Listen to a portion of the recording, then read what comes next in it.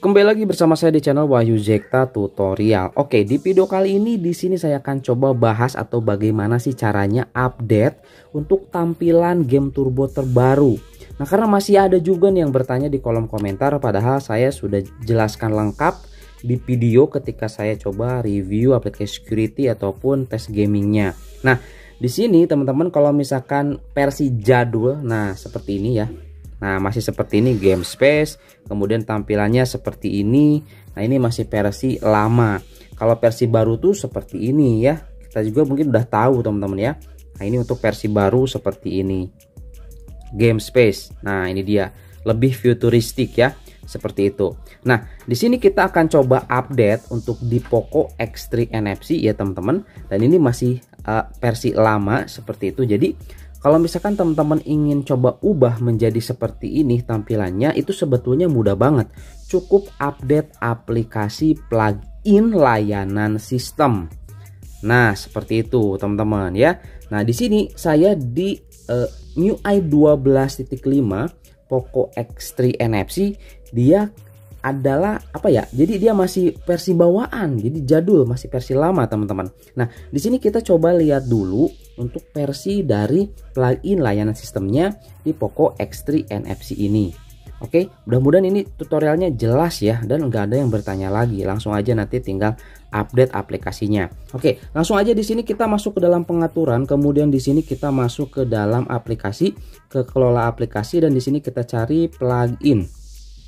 Nah, tunggu ya. Nah, plugin layanan sistem. Nah, yang ini teman-teman ya, plugin layanan sistem kita klik. Nah, ini dia versinya masih versi 9.11.02.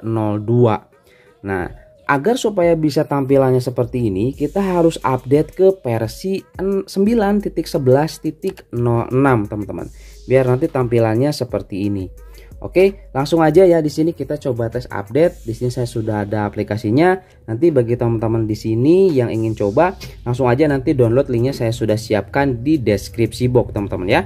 Oke, langsung aja di sini kita masuk ke aplikasinya seperti ini.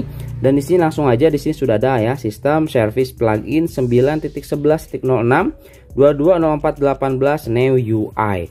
Langsung aja di sini kita install ya. Nah, apakah Anda ingin menginstal update ke aplikasi bawaan? Langsung aja kita install teman-teman seperti ini.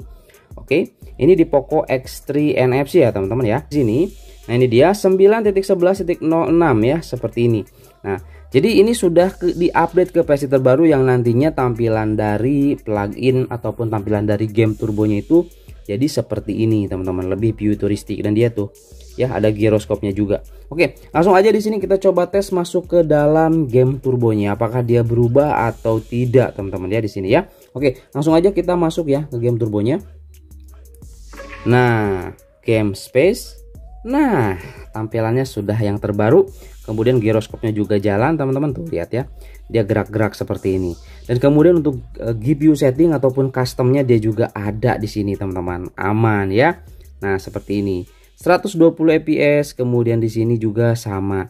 Kemudian di setelan tambahannya juga sama seperti ini ya. Oh ada visual yang ditingkatkan ya. Keren ini teman-teman. Oh di sini langsung pakai yang kuat. Kita coba yang asli aja seperti ini ya. Oke seperti itu mungkin teman-teman ya. Di sini sudah berubah untuk UI dari game turbonya. Mudah-mudahan ini videonya jelas ya teman-teman. Seperti itu. Jadi cukup install aja aplikasi pluginnya nanti saya akan sediakan saya akan simpan link downloadnya di deskripsi box seperti biasa. Seperti itu. Oke jadi ini udah versi terbaru.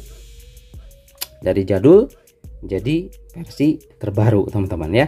Oke ya haruslah menjadi versi terbaru biar tidak ketinggalan zaman teman-teman ya. Oke itu aja teman-teman ya di video kali ini di tutorial kali ini. Mudah-mudahan jelas. Sampai ketemu lagi di video selanjutnya. Oke bisa ya Poco X NFC MIUI 12.5 bisa